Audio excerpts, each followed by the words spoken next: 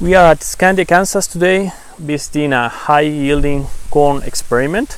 The overall idea of this experiment is try to understand what which are the best management practices that can uh, allow us increase uh, yields and close the yield gaps.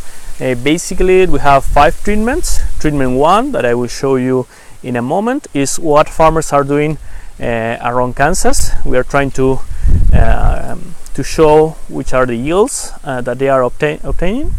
Uh, so we are taking a look here. This is treatment number one. Okay, the different uh, so our the population here is around 32,000 plants. We are under irrigation, and this only have a, a, a nitrogen application before planting, a base nitrogen application. If we move to treatment two, that is the one that is on the left hand side, we are seeing that here we are following a university recommendation for fertilizer uh, for N, P, K, and S. Um, so we can see that plants are looking a little bit bigger. Um, we have more green leaves. Um, so this, and the color of the leaves is, is quite different if, if you want to compare with the trim, previous treatment.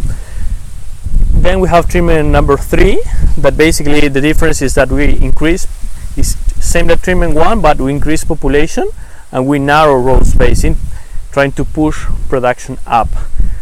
We are going to take a look to that uh, plot now.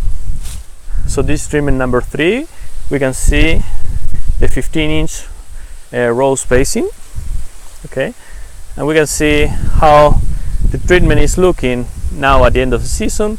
Uh, we can easily identify, I don't know if it is clear in the video, that the green of the leaves is not uh, the same that treatment 2 that we that we saw before. It's more close to treatment 1 okay? The idea now is to visit look what we did in treatment 4 basically treatment 4 is a combination of treatment 2 and treatment and treatment 3 okay? So what we did here we increased population.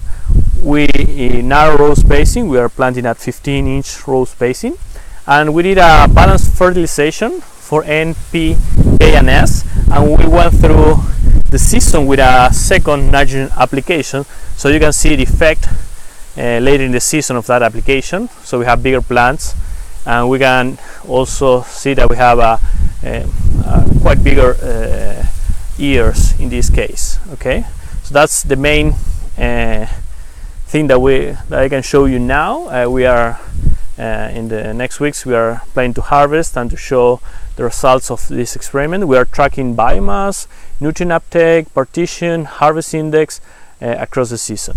And this uh, experiment is part of a corn soybean rotation, so we have the same setup for soybeans.